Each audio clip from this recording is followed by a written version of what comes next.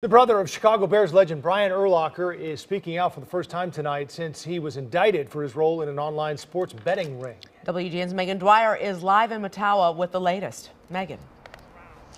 Yeah, so Casey Urlacher is the mayor here in Mettawa. They actually meet at the Hilton Garden Inn right behind me. And at the beginning of tonight's meeting, Katie, Casey made an official announcement that he plans to stay at the helm here. Uh, federal prosecutors have charged 40 year old Casey Urlacher with conspiracy and running an illegal gambling business out of Costa Rica.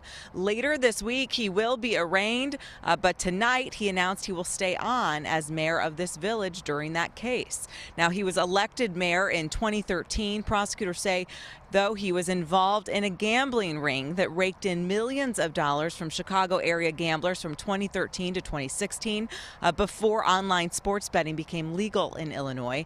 10 people total have been charged in that case, including a Chicago police officer. Urlacher is right now out on a $10,000 bail after signing his own recognizance bond. I received an outpouring amount of support from residents through phone calls, emails, and text messages asking me to continue on as mayor. I have also received the support of the majority of this board, which I so deeply appreciate. I took some time to discuss the situation with my wife, my wife and I have decided to continue to serve as mayor of the village of Mettawa. I fully believe that I will be exonerated of all the charges. and will continue to faithfully serve the village as I have over the past seven years. We will continue on the path of progress that we have made in Mettawa during my tenure.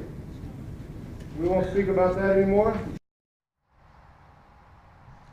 So while he's going to remain mayor, he did resign just last week uh, in for his role with the Illinois Civil Service Commission. You just heard him say he has the support of people here in the village. We'll have more from people, residents here, on their thoughts tonight coming up on the WGN Evening News at 10. We're live in Mettawa. Megan Dwyer, back to you guys. Thank you, Megan.